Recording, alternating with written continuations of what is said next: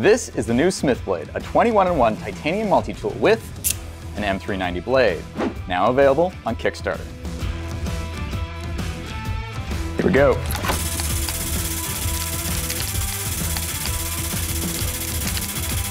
Yeah, this isn't your grandpa's pocket knife. clean in half. That's a clean cut. That's beautiful. Out of everything my team and I have done on YouTube, from lightsabers to giant mechs to Iron Man tech, we're most proud of this knife. It looks like we plucked it out of science fiction and made it real. Series 4 Deatomizer. It's packed with 21 genuinely useful tools engineered to keep you prepared for anything life throws at you. And it's light. At 95 grams, you won't even notice you're carrying it. I wanted to create the ultimate everyday carry. In this video, I'm going to go over what makes it special and why I'm excited to get it in your hands. And in the next video, we're going to show you how we designed it and, of course, make one from scratch.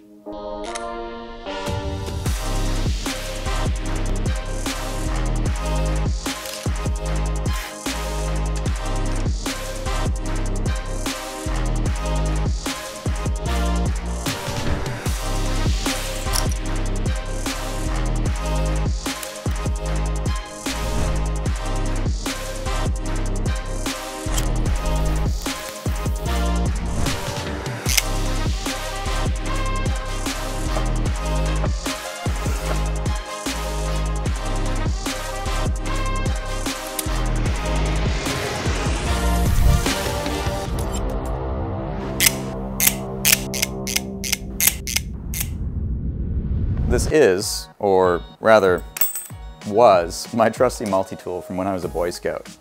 Our motto, always be prepared.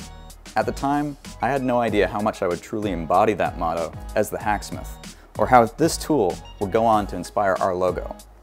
And don't get me wrong, I love these things. There's a reason they've been around for over a century.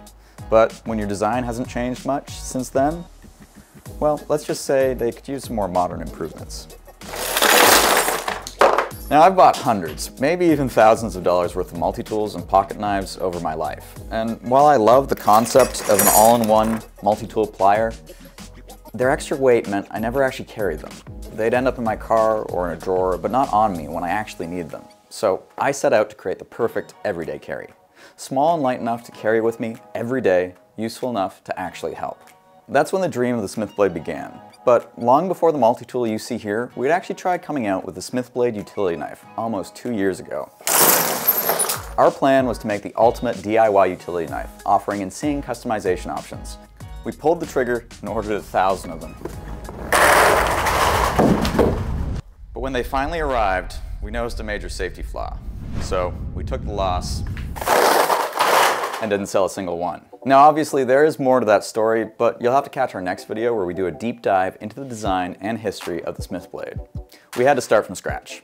I settled on a core utilitarian flipper tab style design featuring a frame lock handle and an aggressive reverse Tonto style blade. It's not spring loaded, but it is a one hand open.